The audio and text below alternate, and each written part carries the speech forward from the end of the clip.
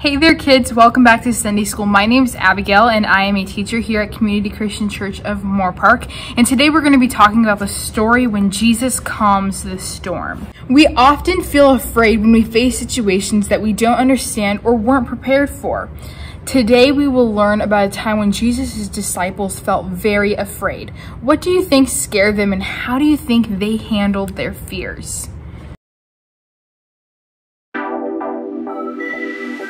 Jesus spent all day teaching crowds of people near the Sea of Galilee.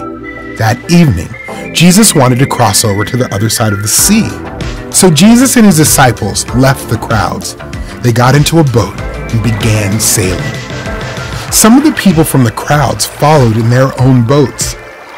While Jesus and his disciples traveled, Jesus fell asleep on a cushion at the back of the boat. All of a sudden, a storm came. The wind was strong and the waves crashed into the boat. Water was coming into the boat and the disciples were afraid. Many of the disciples were fishermen. They had survived storms on the sea before, but this storm was different. It was so strong. If the water kept coming in the boat, the boat would sink. Surely they would all drown. The disciples looked to Jesus for help, but Jesus was still fast asleep at the back of the boat. He didn't seem to even notice the storm. Did Jesus care if they were about to sink into the sea? The disciples woke up Jesus. Lord, save us, they said. We are going to die. Jesus opened his eyes and saw that his friends were afraid. He got up and spoke to the wind. Then Jesus said to the sea, Silence! Be still. At the sound of Jesus' voice, the wind stopped blowing and the waves stopped crashing. Everything was calm. The disciples were safe. Jesus looked at his disciples and asked, Why are you afraid? Do you still have no faith? Did the disciples not trust Jesus to take care of them? The disciples were amazed. Who is this man? They asked each other.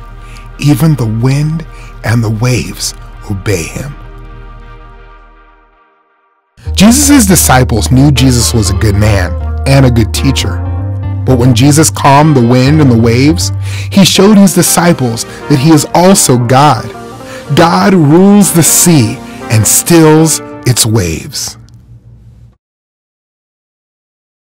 Alright kids, so we're going to see how long it takes me to stop the water, just like Jesus did in the story. So I have some water that I dyed blue here so that we can see if I can stop the water as quick as Jesus did. And if not, how many seconds did it take me to do that? So I'm going to use a yellow bowl as my boat. And if you guys are going to try this project at home, don't drop it in the water like I did. Because I got the boat filled with water.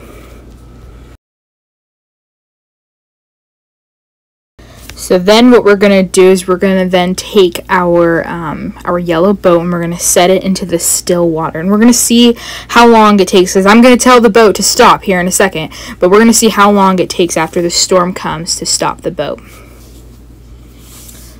So in the story, all of the waves came and was crashing up against the boat, and the people were so afraid. They were probably like, What is going on out here? Jesus is not helping us. Jesus is not saving us.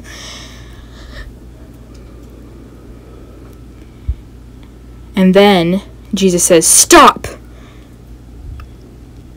But if you can tell here, my waves are still going, and we're going to test and see how many seconds it takes until the water gets back still.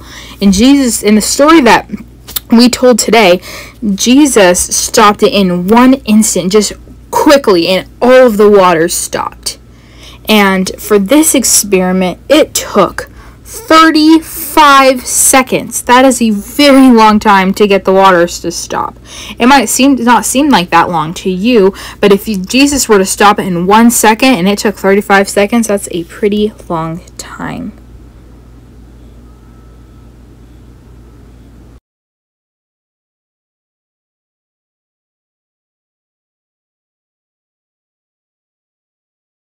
Alright kids, after watching that video, I want you guys to think about this question. Why do you think the disciples were afraid? Now, you have to think about it. They're in this boat and these waves are crashing up against them and they might think that they are going to die or that they might drown. But the thing is, is that they did not fully trust in Jesus to save them. Even though Jesus was asleep, they still did not fully trust and know who Jesus was because Jesus was God. He could, he could stop the storm of the waves, but yet they didn't believe that. They didn't believe in who Jesus was and what Jesus could actually do for them. And another question for you guys is how can we know that Jesus is trustworthy no matter what? And we can know that is because God wants what's good for us and what will bring to his glory. And so we can trust that and know that Jesus is good. Jesus knows what he's doing. He knows the situations that we're in and we have to fully trust him that he knows what he's doing. Even when there might be a storm around us and we don't know what's going on, Jesus already knows what's going on. And he has a plan to provide for you.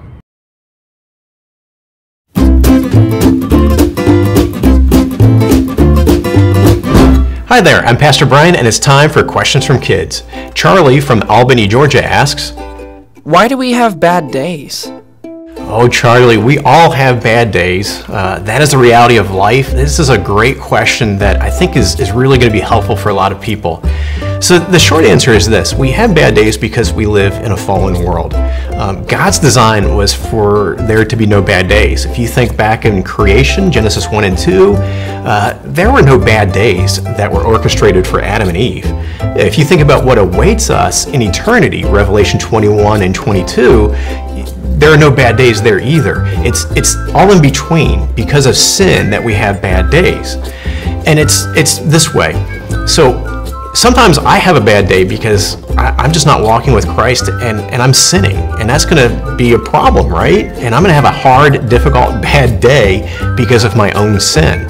There are other days that I might be having a bad day because of the sin of others. Uh, maybe somebody's wronged me, and that's hard, um, hurt my heart. Um, and so it's hard to have those kind of days. Other days, it's just the situation in life. Uh, I'm going to be sitting in a lot of traffic. That's a bad day. It's not because of maybe sin directly, it's just the reality of, of life.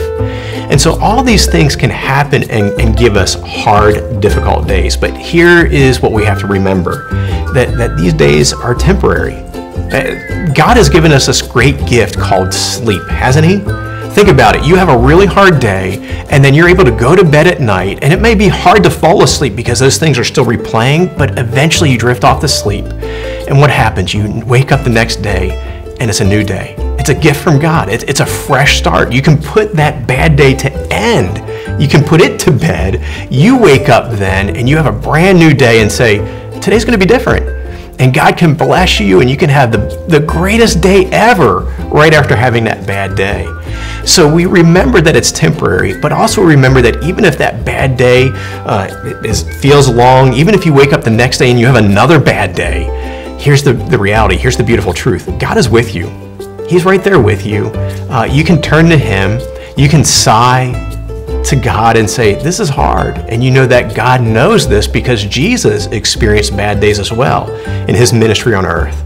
So we have a God who loves us, we have a God who cares, a God who knows that we can go to for encouragement. We also have one another. Uh, when you're having a bad day, God has given us this gift in one another that you can go to parents or a friend or a teacher and just share and, and, and be encouraged by one another and, and be encouraged to, to hang in there to get through it as God is with you. We have one another to love us through it as well. So here's a question for you How can you encourage someone who is having a bad day?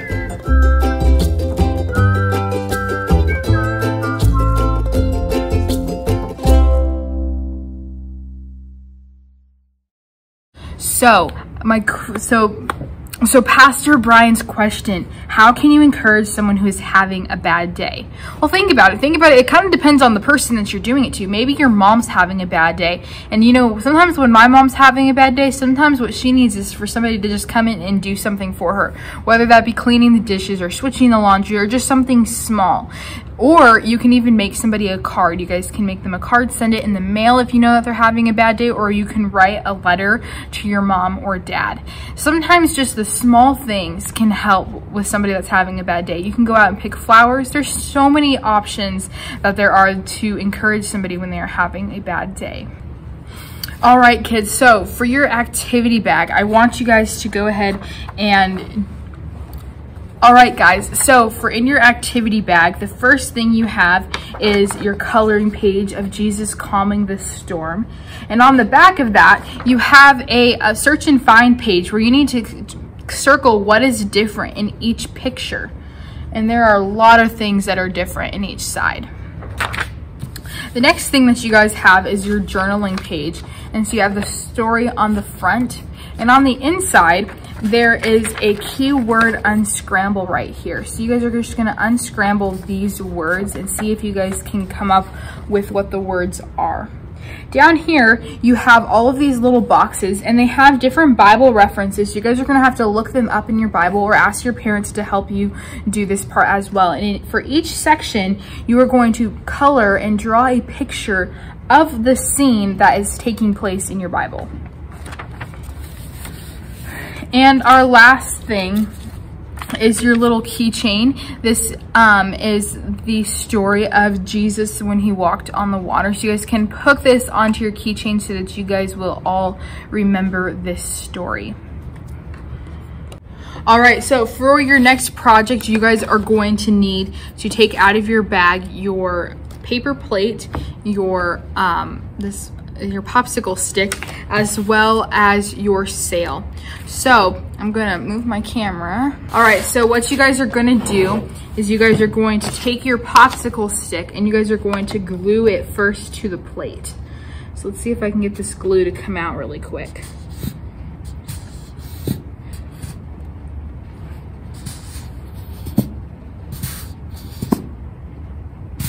Or it might not come out at all. It is taking a long time to get this glue to come out. Oh, there we go. So I'm just gonna draw a little line on my popsicle stick. And then I'm gonna press it down on the back. But when you're doing this, you wanna make sure that you still have part of the stick sticking up because that's going to be your sail. You wanna make sure that it still stays up. And then for your sail, my sail might be a little bit smaller than your guys's is because I just had to cut it out right now. But when doing your sail, you wanna make sure that you do it on the white side. And I'm just going to glue it down kind of like this.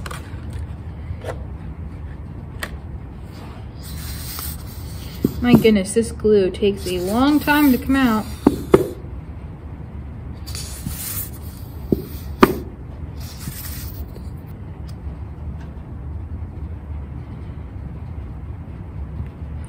There we go.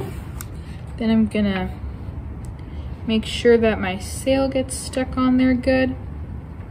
And perfect. Look at how great it turned out. You guys can also color this white part if you guys would like to. I didn't do that today, but you guys are able to color this white part before you do it if you guys would like. Before you glue it though. Don't do it after you glue it because then it'll be harder to color. All right, kids, I forgot to mention this about your boat because I don't have it with me right now. But on your boat, there is a little thing. It looks kind of like this. I'll put a picture up here that is also supposed to go and you're supposed to glue it onto your boat so that you can remember today's story today.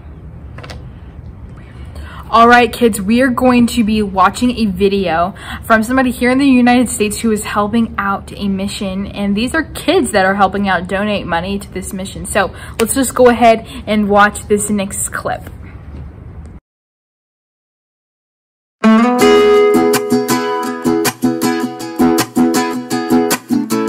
Let me tell you a story about a church. An ordinary church doing extraordinary things because of an amazing God, the one true God. This church, Old Town Baptist in North Carolina, adopted a people group in Southeast Asia called the Tea People. Many of the Tea People don't know about the one true God or the hope of knowing His Son Jesus. The people at Old Town Baptist Church know God wants everyone, everywhere, to hear this good news. So they travel all the way to Southeast Asia. They work with local Christians, telling the tea people about Jesus. Not all of the tea people live in easy to reach places.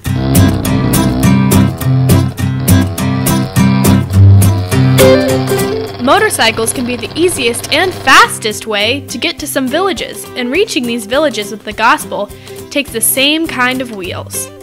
The kids at Old Town Baptist wanted to help local Christians tell more tea people about Jesus, so they took up a missions offering. And so our children gave about half the cost, about $1,000, uh, toward the cost of that motorcycle. And so our kids were really a big part of uh, helping our two young men get to the places they needed to go to share the gospel. The two men often ride their motorcycle over to a local motorcycle repair shop where a new believer in Jesus works and lives. They teach him from the Bible and help him to learn more about Jesus. On a recent trip, they found that he was even telling others about Jesus, like with one man who used to be a Buddhist leader. Buddhism is a religion many people in Southeast Asia follow. Buddhists don't hear about Jesus and his love for them, so these men invited him to church. He brought me to the church, and then I come to know Jesus as my Savior and eternal God. So, this former Buddhist leader in Southeast Asia got to learn about Jesus because of a motorcycle. That is crazy cool. Ordinary Christians doing extraordinary things because of an amazing God. God uses the prayers and the gifts of Christians to do all kinds of cool things. By giving to your church's global missions offering, you can help support Southern Baptist missionaries all over the world. It provides things like Bibles, tools, and the right wheels to get the job done so that more people groups like the Tea People will hear a good news story. A story about Jesus. The end.